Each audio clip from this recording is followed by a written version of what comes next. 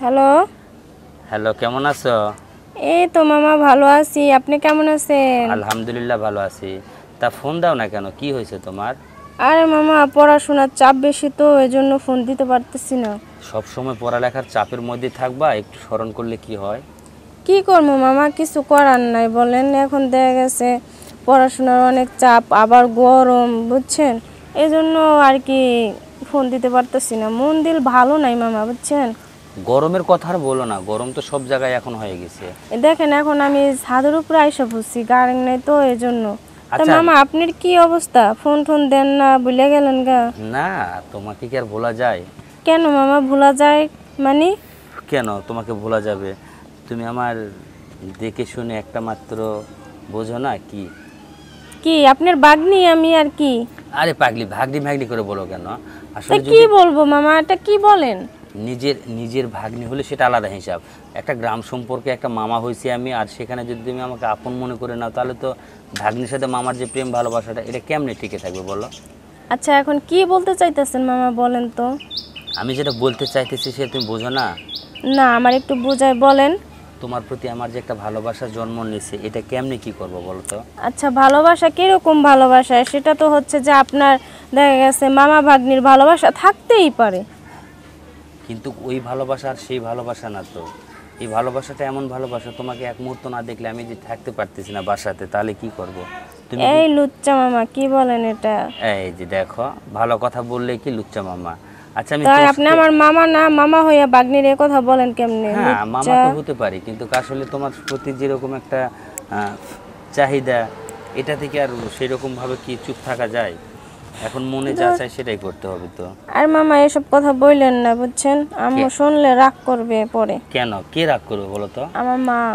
কেন? তোর মা রাগ করবে কেন? এই যে বলবে যে তোর হয় মামা তুই এই ছেলের সঙ্গে কথা বলো সেটা বলবে না। কেন? এটা কেন বলতেছো? তুমি বলবা যে মামার সাথে কথা বলি এখন যদি মামার সাথে আমার কিছু হয় নাই এখন মামায় যদি ফোন দেয় তাহলে আমি কথা বলব না? না সেটা তো ঠিক আছে মামার সঙ্গে কথা বলবে এটা তো তাহলে বুঝতে পারছি কিন্তু আপনি যে আমার এই কথা বলতেছেন যদি আম্মু শুনে তাহলে তো মনে করেন আবার অবস্থা টাইট। হ্যাঁ শুনলে শুনতে পারে সমস্যা কি? ছি মামা আমি এটা আপনার কাছে কখনো আশা করিনি। এই যে দেখো তোমাকে আগেও বলছি এখনও বলতেছি তুমি যদি নিজের ভাগ্নি হতে তাহলে একটা আলাদা হিসাব ছিল- ছিল। কিন্তু তোমার তো ভাগ্নির পরিচয়টা আমি তো দিয়ে আলাদা করি। একটা গ্রাম সম্পর্কে পাড়া প্রতিবেশী ভাগ্নি হলে কি আর ভাগ্নির সাথে প্রেম ভালোবাসা করা যায় না? না হয় একবার দুবার যায়। তাহলে সেই সময়টুকু দিয়ে না হলে তোমার মনের শান্তি তোমার মনের যেটা আশা পূরণ করবা মনে কি কিছু চায় না? দেখেন মামা একটা কথা বলব? হ্যাঁ বলো। সত্যি কথা কি জানেন? আপনারও না আমার খুব ভালো লাগছে বুঝছেন? তো আপনার মনের কথাটা একটু জানার জন্য এতক্ষণ অ্যাক্টিং করছি আমি। বুঝছেন? তার মানে তুমি আমার মনের কথা শোনার জন্য অ্যাক্টিং করছ। অ্যাক্টিংও তুমি জানো? হ্যাঁ দেখলাম যে না আসলে কি আপনি আমার প্রতি কি ক্রাশ নাকি বুঝছেন?